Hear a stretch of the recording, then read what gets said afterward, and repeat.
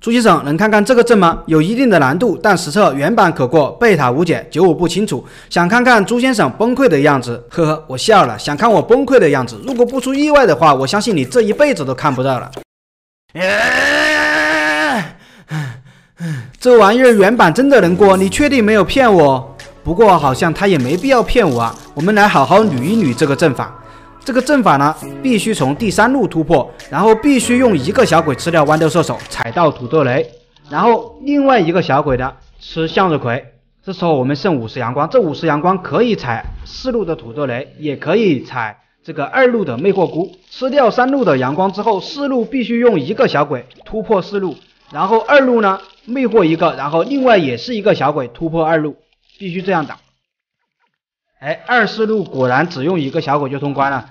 那这个一路怎么打呢？一路的胆小菇缩头了，那是不是我们一路要放一个小鬼呢？我们看一下，哎，这个小鬼果然吃掉了。哎，不对，操作错了，被倭瓜砸死了。我们必须用一个小鬼骗掉倭瓜，重来一把吧。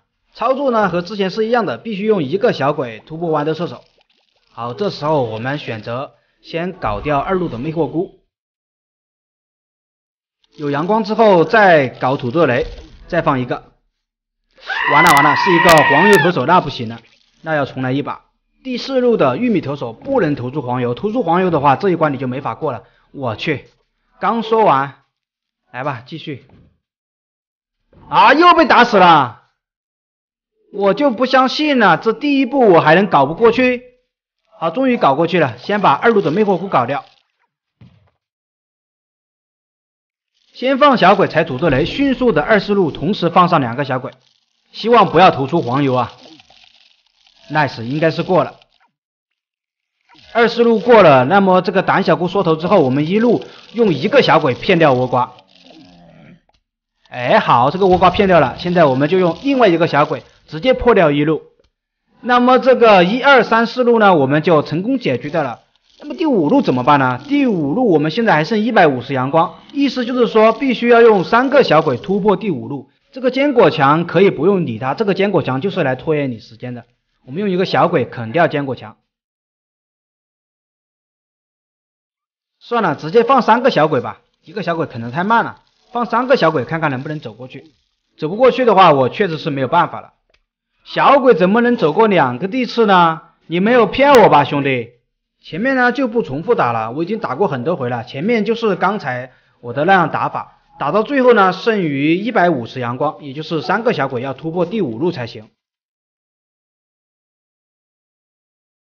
我们等前面一只小鬼先走，后面两只小鬼紧随其后，三只小鬼保持一定的距离，看看能不能走过去。完全走不过两个地刺啊，这怎么玩的呀？头皮开始发痒了，疯狂挠头都过不去。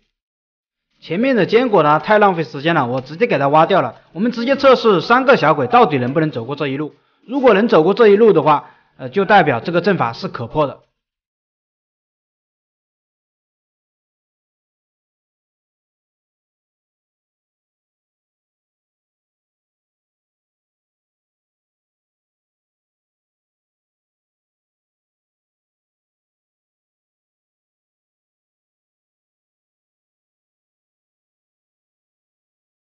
就在我砸电脑的最后一秒，我突然发现有一个小鬼，他居然走过去了！他妈的，打这一关简直是气死人啊！一下午的时间就被浪费在这一关了。我建议心态不好的人一定不要玩这一关，我怕你们心脏受不了。这一关完全就是来浪费你的阳寿的，阳寿不够用的人千万不要去尝试。好了，本期的视频到这里就结束了，我们下期再见。